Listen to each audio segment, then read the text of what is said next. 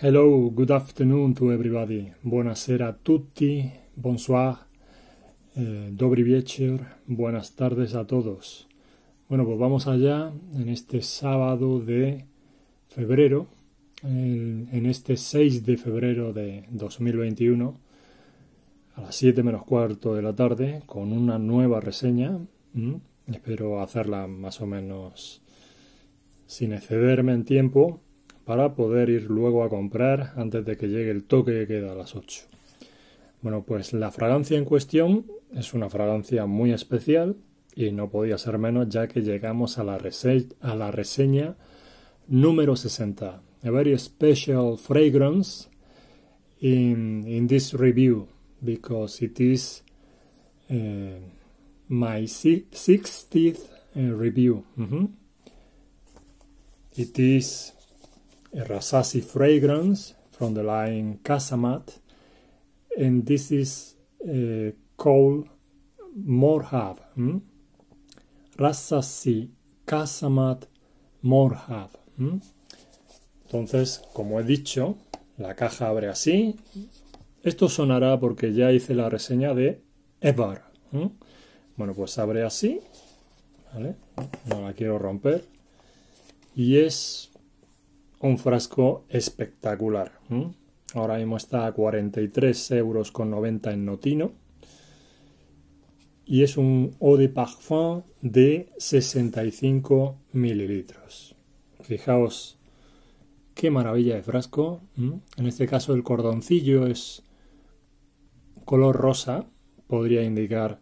La fragancia es unisex, ¿eh? tanto para hombres como para mujeres, pero quizás hay algunas personas que sí que han considerado que tiene más inclinación hacia, hacia, lo femenino, con lo cual podría ser una unisex femenina, pero yo la veo totalmente unisex. La he tenido esta mañana y a los pocos segundos pues ya estaba convencido. Yo que pensaba que sí que era una unisex más orientada hacia lo femenino, sofisticada, pero me ha convencido plenamente. Claro, para esto hay que partir de una idea que, que en algún vídeo indicó Sebastian del canal Smelling Great Fragrances cuando decía que los hombres eh, el siguiente reto que tenemos en la perfumería o la siguiente barrera sería aceptar las fragancias florales, entrar de lleno en las fragancias florales. En principio las flores no tienen género, sí que hay algunas que sí que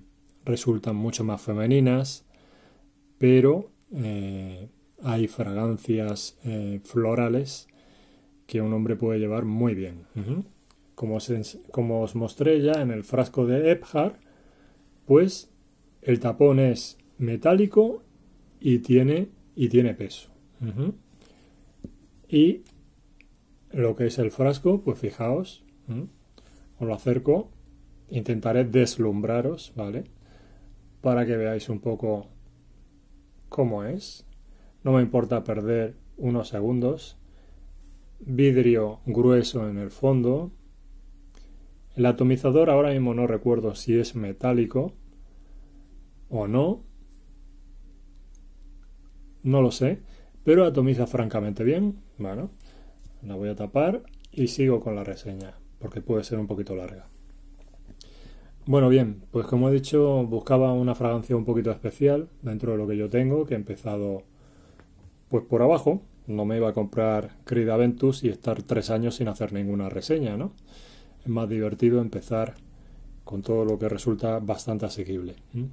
Las disfruto por igual, unas y otras.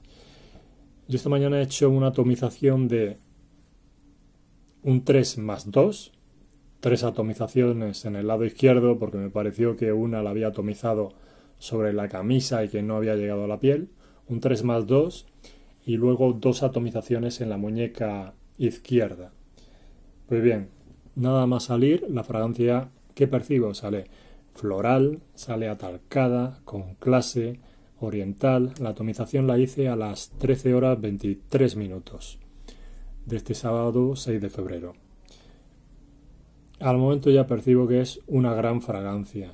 Esto como en el mundo de la música, a mí que me gusta también la música, en, la música ya te das cuenta a los pocos segundos de si un tema es bueno. Bueno, pues en este caso No voy a decir que yo tenga un gran, un gran bagaje ¿eh? perfumístico, pero a los segundos ya me pareció una gran fragancia.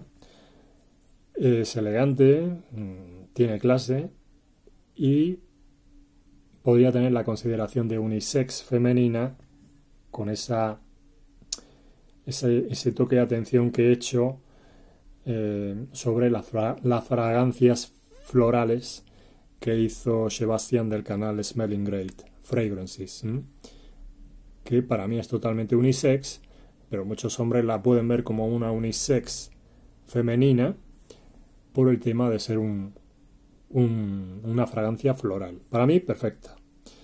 Eh, la fragancia seca de manera lineal, no hace ningún cambio. Y pasada una hora, pues huele, huele muy bien, proyecta muy bien.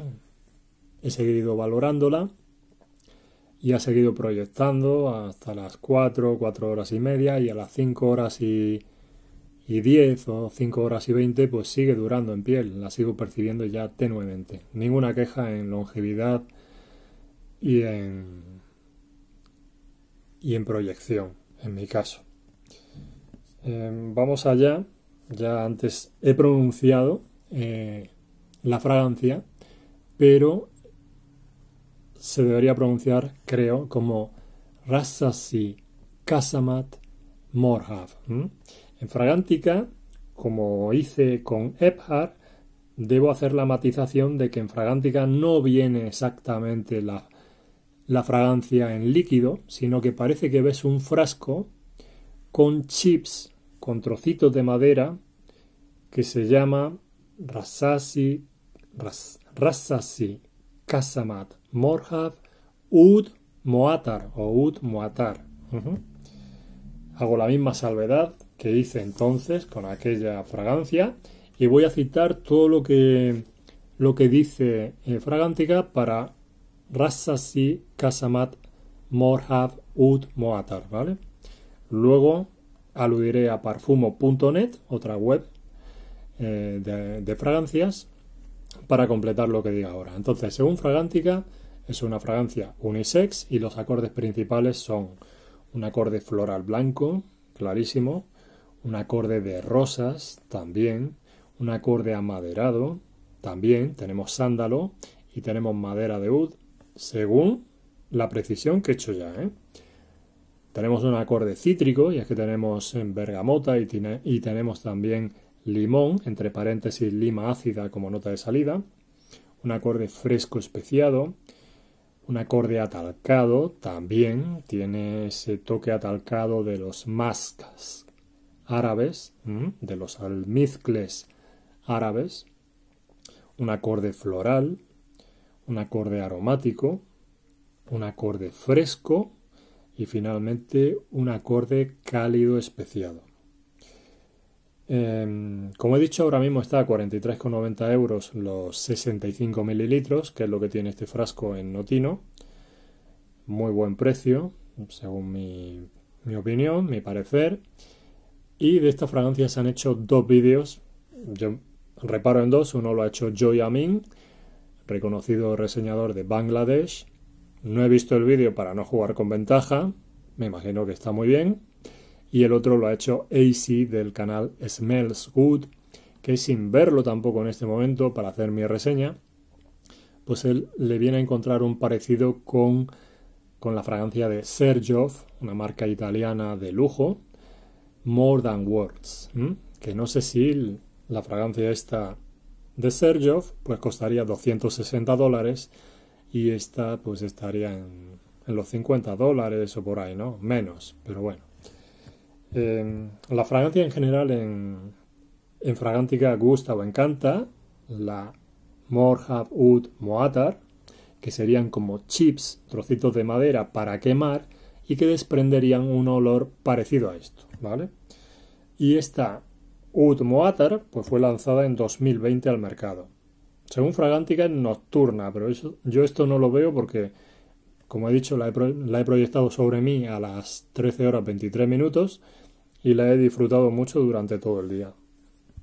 Y estaría especialmente indicada para otoño y un poquito menos en, en invierno y primavera. Una fragancia más bien para tiempo más frío y luego lo, lo recordaré de nuevo, pero alguna persona ha indicado que hay que controlar atomizaciones si no quieres que la rosa o las rosas inunden tu habitación y que tu chica, si eres un chico, te pregunte, pero ¿qué perfume llevas? ¿no? ¿Qué fragancia llevas puesta? ¿no? Entonces, como notas de salida, ¿qué se indica en Fragántica? Pues que tenemos tres, tenemos bergamota, tenemos, tenemos limón, entre paréntesis, lima ácida y en tercer lugar tenemos frambuesa. Yo leo frambuesa y me acuerdo de eh, Mont Blanc Individual, que me parece que también tiene frambuesa, y otras creaciones también árabes que la llevan. Mm, como notas de corazón que tenemos, tenemos rosa, pero luego parfumo.net va a especificar un poquito más que fragántica. Tenemos flores blancas, tenemos lirio de los valles o muguet, jazmín y geranio. Mm. Hay personas que han indicado que la combinación de geranio con, con jazmín, creo, puede dar una sensación como de menta, no lo sé. Creo que era geranio y jazmín, pero ahora mismo no, mm, no recuerdo bien. Y como notas de fondo de base de la fragancia, que tenemos? Pues tenemos madera de gayak, ya he dicho que el gayak es típico de América del Sur y se utiliza, ahora mismo no recuerdo en perfumería cuáles son sus notas, pero se utiliza para hacer las bolas de, de, bolera, para jugar a los, a los bolos, porque es una madera muy dura. Ahora mismo no recuerdo eh, la especificidad que tiene el gayak, la madera de gayak en perfumería. También tenemos pachulí, tenemos ámbar, tenemos vainilla, tenemos almiz, almizcle, musk, tenemos sándalo y madera de ud. De ud. Perdón. En cuanto a la longevidad, pues alguna persona indica que es escasa, que a mí me llama la atención por la sensación que he tenido yo, pero en Fragántica primaría el ser duradera y en cuanto a la proyección, pues entre moderada y pesada sería pesada.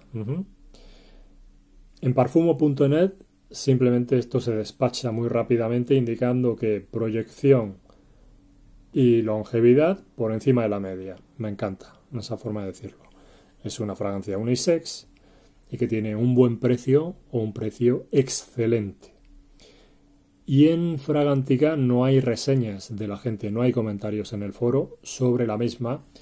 Ya digo que en Fragantica la fragancia que aparece es esa Rassasi Kasamat Morhav Ud Moatar, que como he dicho serían chips, trocitos de madera, no sería líquido, para quemar siguiendo la, técnica de, de perfumar árabe que consiste en quemar madera, quemar madera de oud, quemar frankincense. ¿Y, ¿Y qué dice parfumo.net? Pues se dice que Morhav es una fragancia popular dentro de la casa Rasasi, como una fragancia para hombres y mujeres, unisex.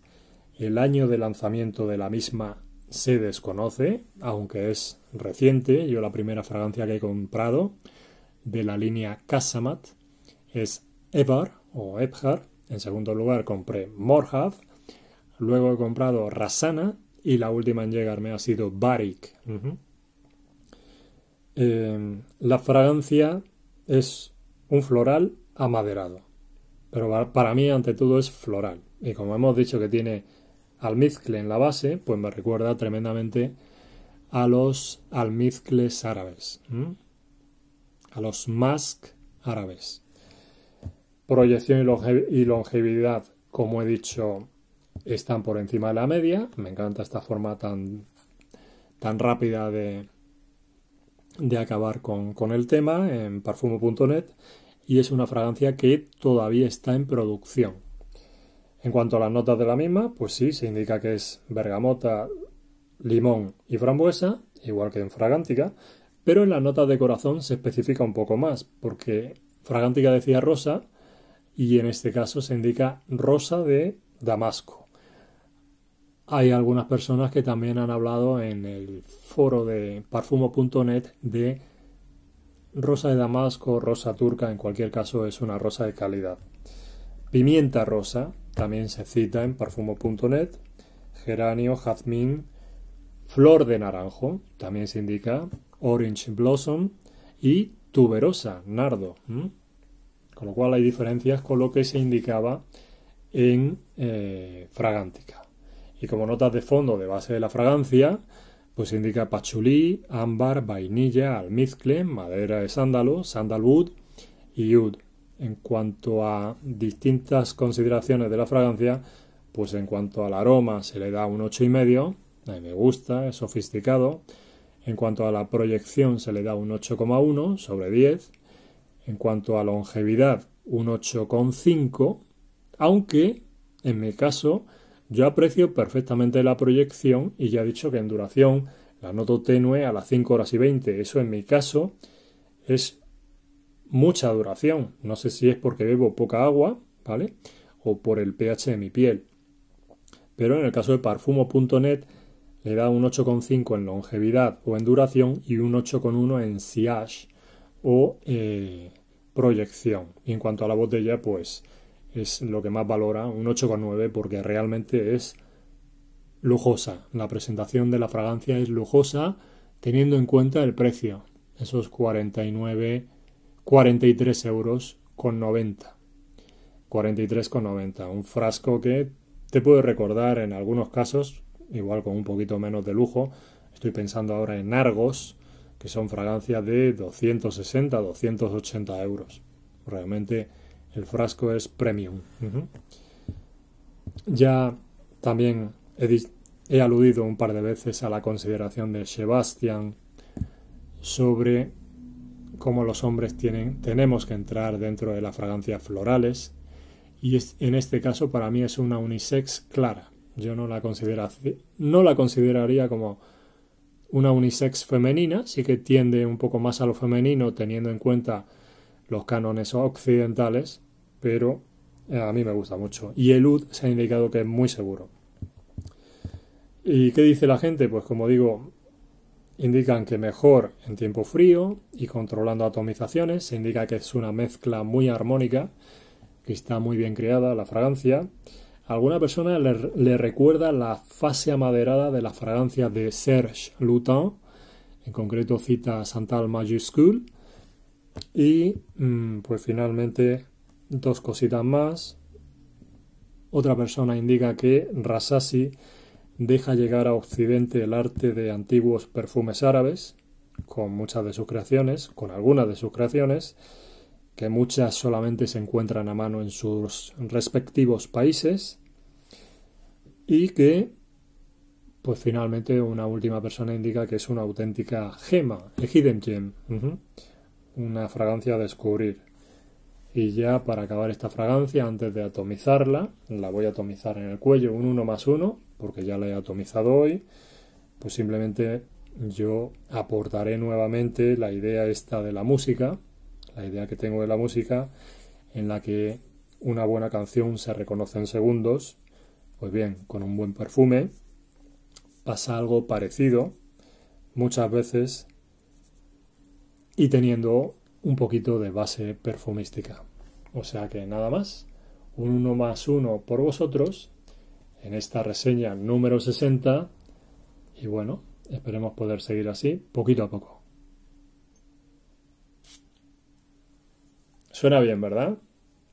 Atomiza bien, ¿no? Escucha, escuchad. Just listen to it. Very good. I'm so satisfied. This is wonderful. Hmm? Mm-hmm. I feel really good with this fragrance. 43 euros with uh, 90 centimes of euro. Mm-hmm. ¿En qué jardín me he metido? Al decir 90 céntimos de euro en inglés. Y ya está.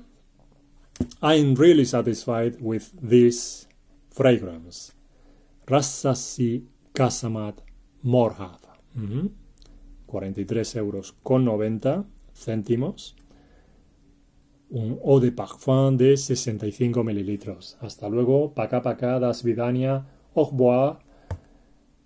Chao. Adiós.